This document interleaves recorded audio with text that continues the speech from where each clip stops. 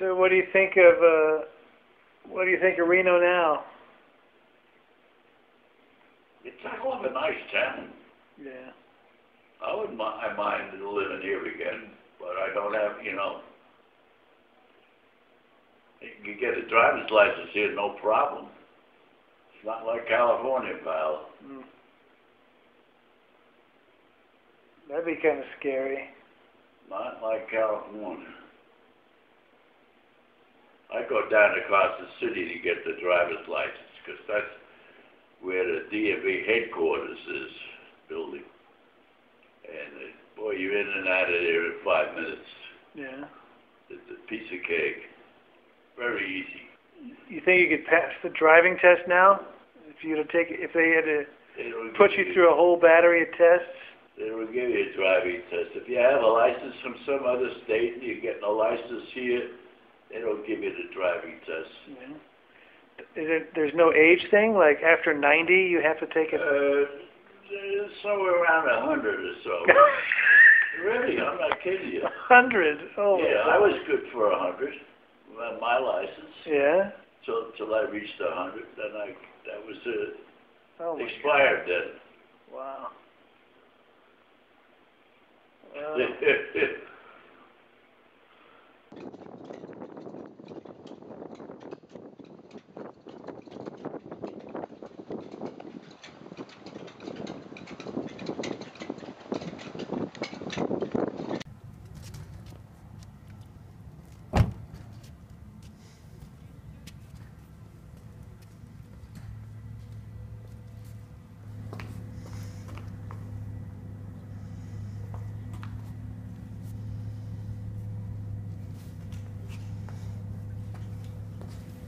gathered here today to honor another comrade who has been called to the high command and has gone to report to the commander of us all.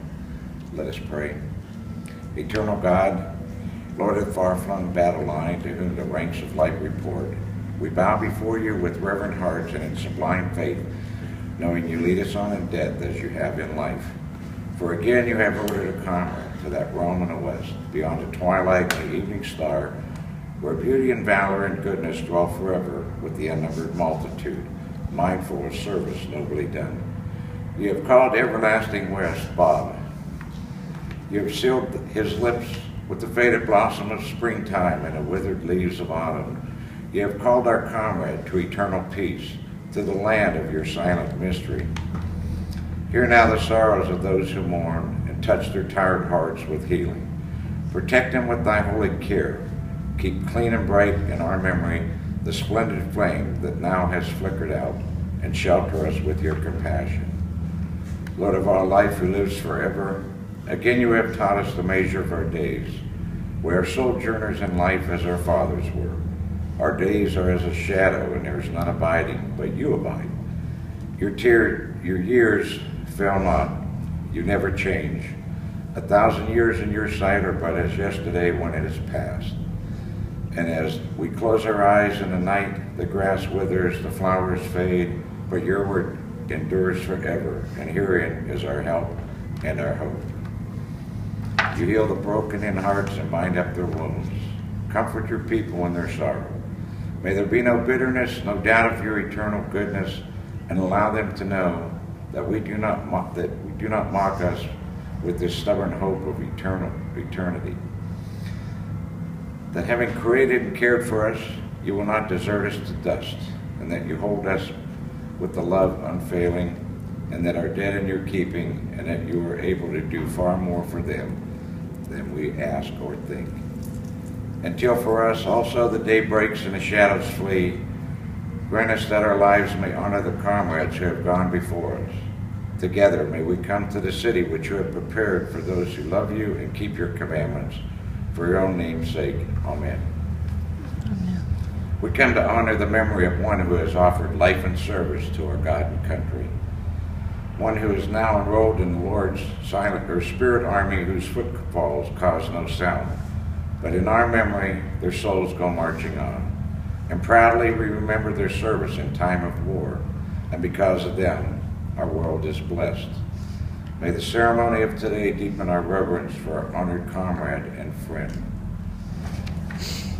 we realize how fruitful are mere words to express our deep and abiding sympathy in your loss. And may you feel that Bob is at rest and in endless peace. And generation after generation, all the shadowy peoples of the past have lived as we lived, pre- pre- perplexed and mystified by death. They have gone into the great beyond with hearts filled with wistful longing as we all must go. Surely there's an afterlife for all who have been loyal and true, a life to which light and peace shall come, where the burden shall be lifted and the heartache shall cease, where the love, the hope, and the fulfillment that escapes us here shall be given to us and be ours forever. Let us pray.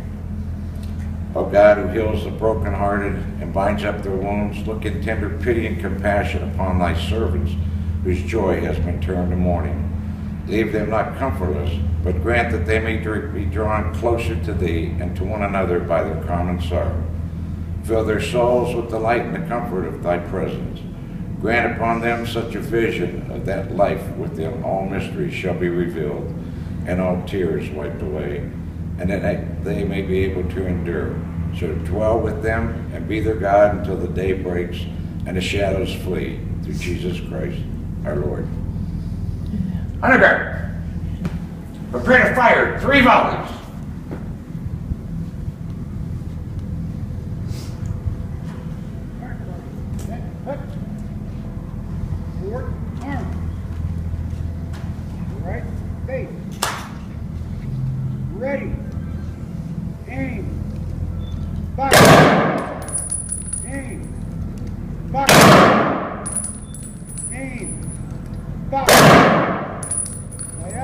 Face.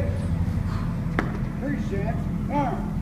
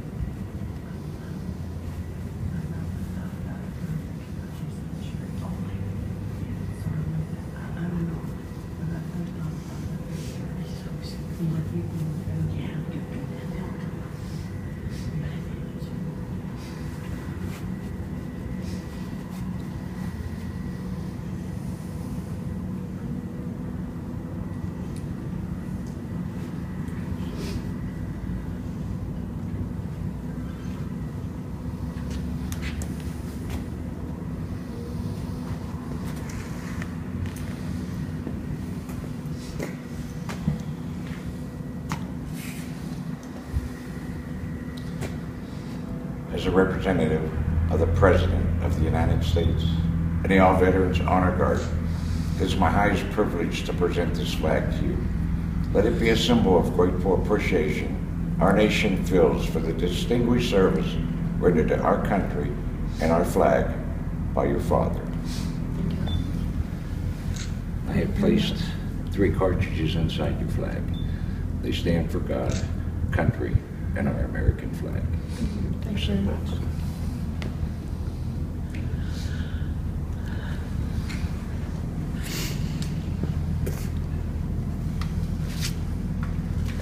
Let us pray.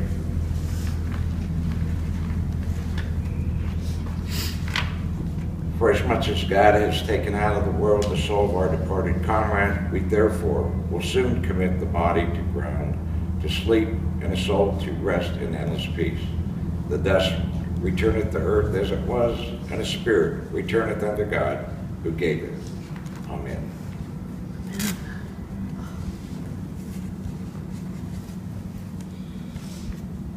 It has long been a sea service custom that when an individual leaves one command and is assigned to another, that person is piped over the side.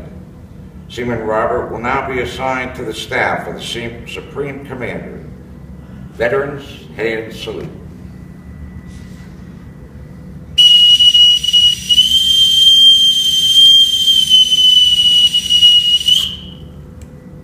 Two. And that concludes our service today. Thank you all very much for coming. For as much as the spirit has departed from the body, we do commit this body to its final resting place. But the spirit, which is the true person, we commit into the hands of Almighty God, who first gave us life, and to whom alone we have the hope of everlasting life. Through Jesus Christ our Lord. Amen. Amen.